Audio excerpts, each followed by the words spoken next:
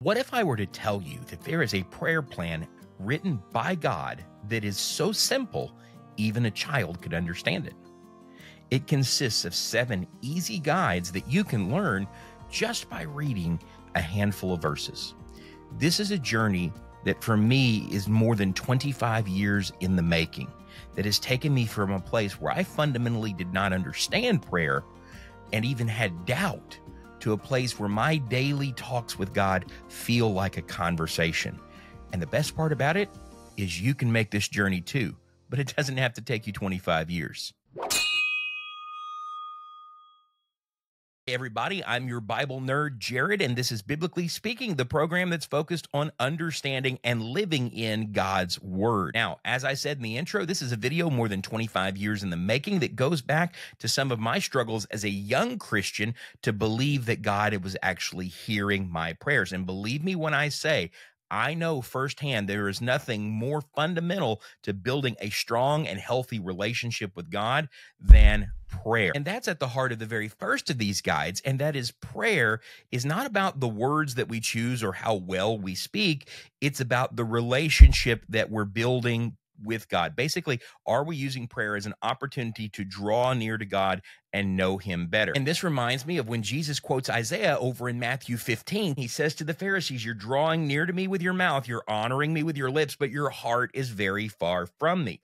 The very first and most important lesson is that prayer is the heart speaking. And that's why in Matthew 6:10, he taught them to pray to God like God is their father, reminding them just a few verses later in Matthew 7, verses 7 through 11, to keep asking for what they need because God is, in fact, a good father. The lesson here is to see God as a source of good in our lives and to draw near to him the way that we would draw near to someone who loves us. We're not trying to appease God with our prayers. We're not trying to to change his mind about us. What we're doing is we're building a relationship that he's already said he wants to have with us. And this leads us right into the second guideline, which is in prayer, nothing is off the table. Now, this is interesting because when I think about Matthew 6 and 6, where Jesus talks about praying in secret, I picture almost having this sacred space, this, this, this private place where I can go and talk to God. It's a one on one conversation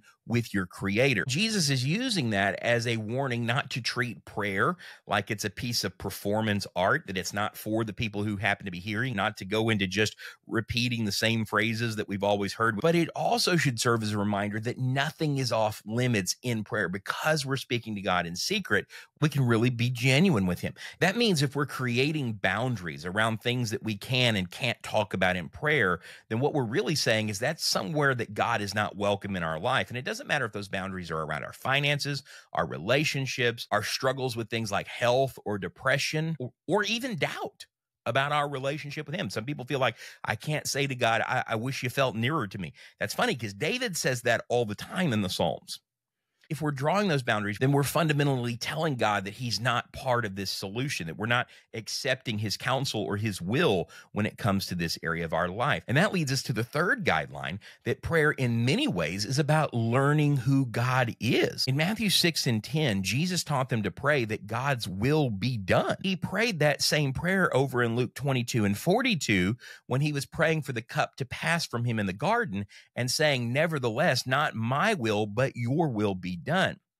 And this gets right to the heart of knowing God because prayer is a petition to change God's mind on some matter. We can, in some ways, influence the will of God, or at least maybe his design for our immediate future and those of the people around us. Think about King Hezekiah in the book of Isaiah, who twice petitioned God in very, very dire circumstances, and God actually heard his prayer. I'm not saying that God's going to send a mighty angel to avenge his will on the evildoers of this world, or that God's going to move the sun backwards so that we can know that he's extended our life, but just like he could change God's mind about some things, he's open to being influenced by our emotions and our desire to connect with him. And at times, like in the case of Daniel 6, where he's thrown into the lion's den, prayer can just be a source of strength to endure the will of God. Now, one word of caution here we want to be careful about thinking about prayer in a prosperity gospel sort of way, like the word of faith movement, because I speak it in faith. God is definitely going to do this. You want to be very careful about that. Anybody who's telling you that is definitely not telling you the truth. Paul prayed three times for a thorn in the flesh to be removed, and his answer was from Jesus, My grace is sufficient for thee. But God is open to having his mind changed. And this is kind of a bonus point here. I hope you're beginning to see that that one of the keys to really building this relationship with God that prayer is so fundamental to is also spending time with his word and gaining confidence in God. That brings us to the fifth guideline, which is prayer is an ongoing conversation with God. This is essentially what Jesus was teaching in two different parables found in the book of Luke. The first is in Luke 11. After his disciples ask him to teach them to pray, he begins to tell the parable of this persistent friend. He essentially tells the same parable over in Luke 18 with the persistent widow who's speaking to the unrighteous judge. Prayer is not just a list of requests, but rather it's a conversation. Imagine prayer as the foundation of a trusting and deeply intimate relationship with God, where each conversation draws you closer to Him. That's essentially what Jesus was trying to explain in those two parables. Now, Paul adds another dimension to this in First Thessalonians chapter 5 when he tells them to rejoice in everything and pray without ceasing and in everything give thanks, because this is the will of God, that God wants to have these conversations. He wants us to be joyful with Him, He wants us to reach out to Him and petition Him and tell Him about our feelings toward him, and he absolutely wants us to give thanks, and this is God's will. Which brings us to the sixth guideline. James chapter 5 verse 16 says the effective fervent prayer of a righteous man accomplishes much. That idea of fervency and effectiveness is not talking about the passion with which we're approaching prayer, although it can be to some degree about that. But within the context, that word fervent or effective means that we're trying to show God that our request is worthy. In fact, in that passage, James is telling them to pray for some very big things. He says, Look, you need to pray for the sick. You need to pray for those who are lost in sin. You need to pray for those who are your brethren who've been overtaken by sin. And then he uses this example of Elijah who prayed and it didn't rain for three years and six months. And then he prayed again and it rained.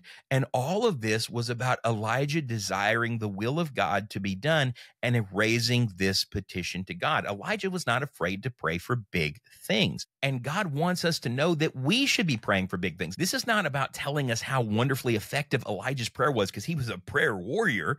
This is about telling us how wonderfully effective our God is. And when we approach him in that manner, then we shouldn't be afraid to ask him for big things. Without even leaving the book of James, we come to the seventh and final point, and that is we have to learn to pray without doubting. And that's been the whole point of this prayer journey, right? We're told in James chapter 1, beginning in verse 5, that if we lack wisdom, we can ask of God and he'll give to us liberally. But the things that we ask for, we should ask without doubting. That the minute that we doubt that God hears or God cares, the efficacy of our prayer goes way down. God doesn't want us approaching him timidly. He doesn't want us approaching him with doubt. He wants us approaching him in confidence that if this is according to his will, if it really is good for us, then he is going to move in that way. Now, he wants us praying consistently because he may not move as quickly as we would like him to, or his answer may be no. But every prayer is an opportunity to grow that relationship. These seven guidelines have helped me deepen my relationship with God much more than I would have thought possible if I were just trying to navigate prayer on my own. I hope you got something out of it. If you did, you should have already smashed that subscribe and that like button. Thanks for joining me today, and may your journey in prayer lead you to a place that is filled with trust and intimacy with God. And until I see you again, have a good day and God bless.